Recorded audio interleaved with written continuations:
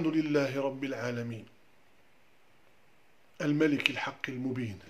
نحمده سبحانه وتعالى ونستعينه ونستغفره ونستهديه ونستنصره ونتوب إليه ونتوكل عليه ونصلي ونسلم على سيدنا محمد وعلى آله وصحبه أجمعين.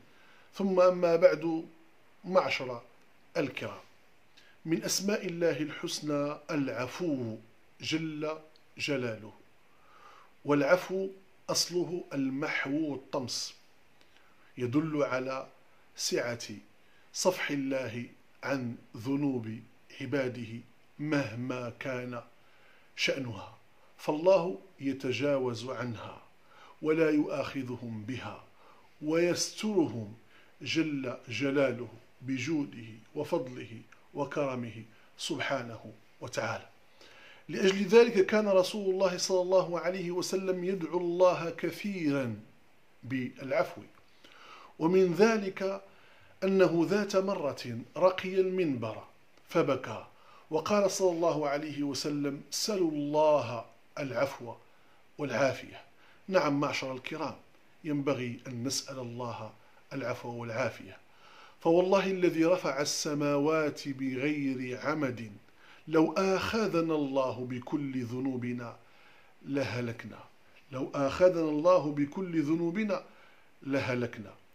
يقول سبحانه وتعالى وما أصابكم من مصيبة فبما كسبت أيديكم ويعفو عن كثير. نعم يعفو سبحانه وتعالى عن كثير من ذنوبنا وخطايانا فلا يواخذنا بها ويسترها سبحانه وتعالى عنا. كان علي رضي الله عنه وأرضاه يقول ألا أخبركم بأفضل آية في القرآن الكريم؟ حدثنا بها رسول الله صلى الله عليه وسلم وكان يتلو هذه الآية.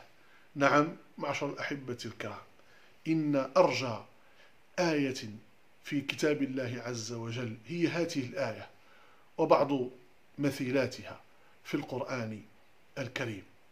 ومن فضل الله عز وجل على هذه الأمة أنه أعطاها وخصها بآيتين في أواخر سورة البقرة. تضمنتا دعاء الله عز وجل بالعفو. يقول صلى الله عليه وسلم فضلنا على الناس بثلاث جعلت لنا الأرض مسجدا وطهورا. وجعلت صفوفنا كصفوف الملائكة. وأوتينا بآيات من أواخر سورة البقرة من كنز من تحت عرش الرحمن. لم يعطه أحد قبلي ولا يعطه أحد بعدي ولا يعطى لأحد بعدي. نعم أيها الإخوة الكرام الله جل وعلا فضلنا بهذه الآيات الأخيرة من سورة البقرة وفيها واعف عنا وفيها واعف عنا.